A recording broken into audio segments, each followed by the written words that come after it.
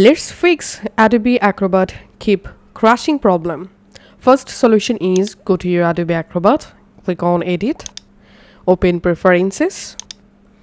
Under categories, select general and here you'll find this option show online storage when opening files. So we have to uncheck or disable this option.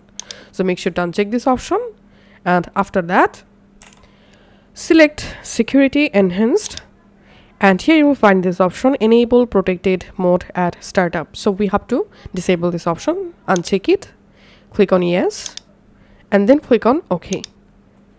Now close your adobe acrobat app completely and go ahead and relaunch your adobe acrobat and then go ahead and check the crashing problem solve or not.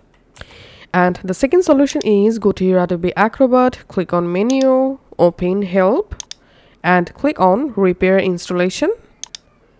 Here it may take some moments to configure your Adobe Acrobat.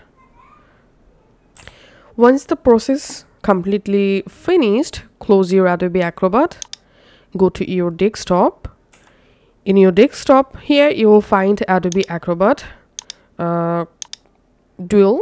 So we have to delete the first Adobe Acrobat from our desktop and then launch the second copy of Adobe Acrobat and now you can uh, use the Adobe Acrobat without any issue. But if you're still having the same problem then you have to completely uninstall your Adobe Acrobat from your computer and then you have to reinstall it. If you want to learn how to uninstall and reinstall you can uh, find a video on my channel about this topic